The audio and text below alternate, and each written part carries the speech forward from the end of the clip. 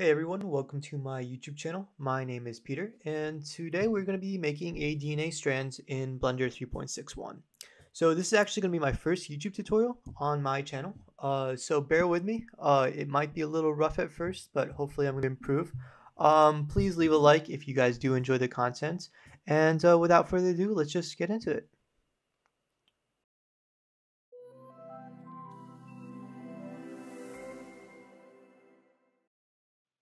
Okay, so to start off, I did open up uh, Blender and deleted the default cube.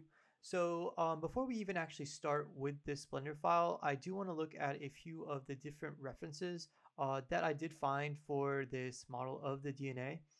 Um, so let's go to Chrome real quick. Um, and here's what I found. So I was looking at a bunch of different variations. Uh, there's a different uh, way of making each DNA strand, but I think we're going to be looking at the structure first, uh, kind of just like uh, the double helix um, with a twist, and then um, looking at how to render it. So I saw this one and I'm like, this is kind of cool, but I really like this uh, blue render right here uh, because I think it's going to be easier to make in Blender and I think it, uh, stylistically it just looks um, more organic to me. Uh, so uh, let's go back to uh, Blender and actually create this thing.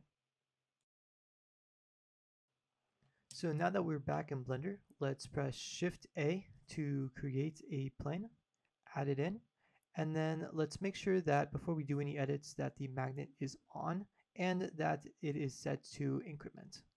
So now that that's set, um, let's press tab and go into edit mode. And then we're want to move it with G and X along this X axis and just move it to the side. Once we've done that, uh, we want to press period to focus and then press 1 to go into side view.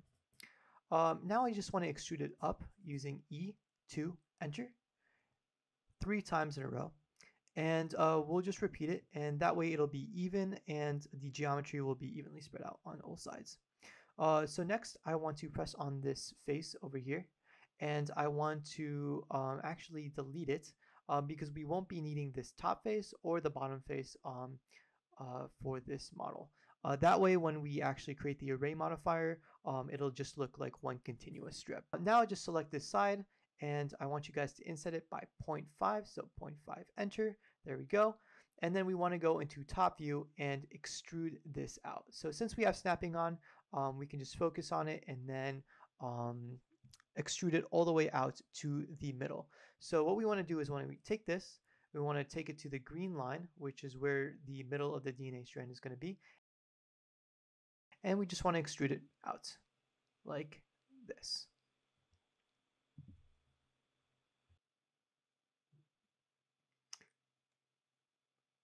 There we go. So now that we have that extruded out, we want to actually delete this face as well so that it doesn't create any issues with the geometry once we mirror it. So there we go. So now we have our first part of the DNA strand. We want to open up our panel to the side and go to the modifiers, which is like this little wrench over here. Now we want to add the first modifier, and the first modifier is actually going to be the subdivision surface modifier, which is all the way here at the bottom. Now, um, it looks like it's working, so we just want to increase that resolution up to 2, and then we want to shade smooth uh, or auto smooth, depending. Um, so yep, that looks great. So the reason is we used auto smooth is because when you shade smooth usually, um, and you have like sharper faces, uh, it'll create some like weird shading geometry, and we just don't really want that. But uh, auto smooth is usually the safest way to go. So next we want to just rename this. Uh, I think this is just going to be the resolution um, of our DNA strand. So I'm just going to rename the modifier to resolution. So now let's go back and add another modifier. So the next modifier is actually going to be the mirror modifier. And it looks like it just works perfectly. Uh, sometimes when you click on the uh, modifier and it's set to a different axis, you just have to switch it around to make it look like the way that you want it. So we're just going to set it back to the X, uh, X axis and then we're going to turn on clipping. Now, the reason I turned on clipping is because when we move this, we actually want it to stretch and stay intersected. Um, if we didn't have clipping and merge on, then that wouldn't happen. So the merge is actually just the merge distance. Um, so how close you want those um, intersections to be when the vertices are close to each other. And then clipping just ensures that um, it actually acts as it's intersected. Okay, so let's add another modifier, which is the array modifier all the way at the top. And we're just going to change this to length uh, because this is going to be how many rungs of the ladder, which you'll see in a second why I'm saying that, um, that we're going to have. Uh, so as of now, it's actually not set up correctly, but we're actually going to change it um, from being on the x-axis to z. But before we do that, let's add uh, the count to 14 and just change it. And then we're going to go down here to where it says X and turn that to 0. And then we're going to go down to Z and add 1. So just type in 1 and then enter. And boom, there we go. So now we have our rungs on the ladder, which is the length of our DNA strands. So we're almost done. We just have to add one more modifier, which is the simple deform modifier. So we're going to go down, simple deform, and select it. Um, so right now it's actually twisting in the wrong direction. That is because it's not set to the correct axis and it's creating this really squashed geometry. We don't actually want that. So what we're going to do is we're going to actually press the Z axis and it's going to switch it to the right direction for us. So now that it's correct, uh, it's a little bit too subtle. So let's just change the degrees to 360 and boom, now we have our DNA strands. Now, the great thing about actually having it set up this way is uh, it's in a non-destructive format. So what we can actually do is we can look at this DNA strand um, from where we actually started by just turning off all these modifiers. So we can turn off the modifiers and it'll take us directly back to that very simple mesh form that we originally had. Now, because we set it up like this, we can also customize it in a bunch of different ways that uh, we want. So I'm actually going to go back to that render that I was originally looking at and see how it um, connects the strands. So you can see that little divide over there. I really like that instead of what we had in this one where it's just fully connected.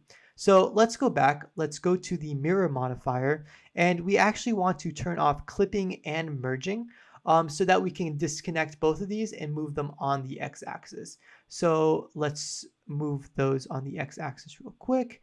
Uh, oh, yep, turn off clipping. Uh, and now, as you can tell, they are no longer connecting as we turn it off, but they are still twisting in the way that we want them. So I'm actually going to move these slightly back to where there's a little bit of a gap, and I think that looks so much better. But I don't like this open face at the end of where these are. So to actually fix that, I want to go into selection mode and edge select this face right here. So press Alt and then click and then press F. So once we've actually capped it off, um, it looks kind of weird because it's now creating this weird uh, shading on the end of it.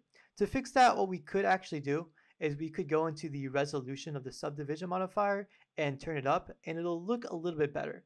But I actually don't want to do that. I want to actually create a loop cut instead. So we're going to bring that back down to 2 and then we're going to press Control R and create a loop cut and move it all the way up to where the edge is. Maybe not directly on it so we have a little bit more of a curve. And I think that looks great. I think that looks much better um, and it really caps it off the way that we want it. Now we could do that to this part as well, but since I wanted to extend um, an infinite amount, I really wanted to have it look continuous. So yeah, guys, this is the end of the tutorial. Um, I hope you guys enjoyed. Uh, let me know what you guys thought. Uh, uh, don't forget to subscribe and like for more content. And uh, yeah, I'm to show you guys a few uh, renders that I actually ended up making from this, uh, and I hope you enjoy.